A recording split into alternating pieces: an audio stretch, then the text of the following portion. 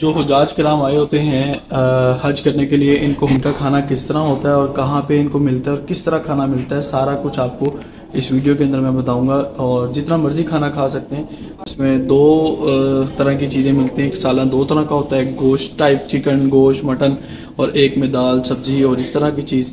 फिर बिरयानी भी होती है फिर खिचड़ा भी होता है, फिर बीच में सेमियाँ भी देते हैं और मीठे में भी कुछ देते हैं, चाय भी देते हैं, कॉफ़ी भी देते हैं, कावा भी देते हैं, सेब भी देते हैं और दही भी देते हैं। मतलब स्केजुअल पूरा बना हुआ है कि खाना किस तरह का, कब, कैसे कैसे देना है। जी, हमारा यहाँ पे तीसरा दिन है और यहाँ पर भी हमने लंच लेना है मील लेंगे और उसका सारा तरीका अगेन वही है, अपनी ट्रे लेनी पड़ती है। ट्रे लेने के बाद यहाँ से हमें और ये रखेंगे। आज क्या है मेन्यू में भाई?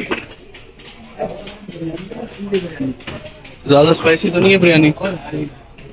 स्पाइसी नहीं खाते यार। दही है, साथ। बस एक बूटी डाल दो, ज़्यादा नहीं, वो रहने दो बल्कि। वो दूसरी प्लेट रहने दो। एक, चलो ठीक है इसमें। एक में डालो। और डाल दो इसी में। थोड़ी सी बस। और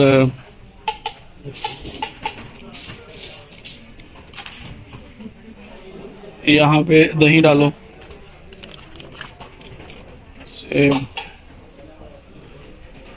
और क्या भाई यहाँ पे? क्या चीज़ है? बस ये आधी रोटी डाल दो, ये वाली। हाफ़ कर दो। और पानी डाल दे।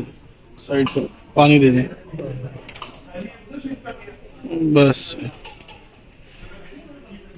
ये जी हमारा लागे।